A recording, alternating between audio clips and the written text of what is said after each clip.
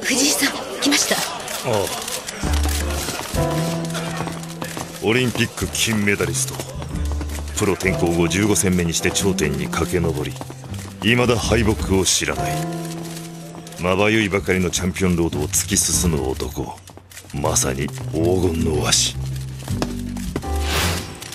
WBC 世界ミドル級チャンピオン。デビッド・ゴールデンイーグル。デビッドちょっといいですか？聞きたいことがあるんですがん構いませんよ。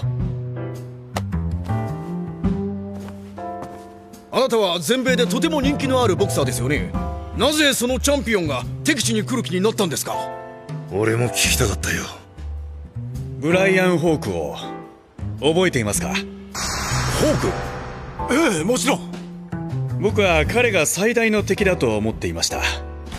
それだけに彼の敗戦のニュースはセンセーショナルでした小さな島国に強い男がいる。興味が湧き夜も眠れない。そこへ話が来たと。イエス日本に来た理由。守る高村に興味がある。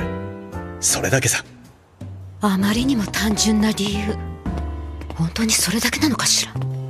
ホテルでディナーの用意ができていますので。のジムに直行したい。長旅での自分のリズムが気になる。一刻も早く戦闘モードに戻しておきたいんだ。休憩も観光も頭にない。どうやら本当に高村だけに興味があるらしいな。ブライアン・ホークとは全く違うタイプのボクサーですね。栄光しか知らず。しかし決しておごらず。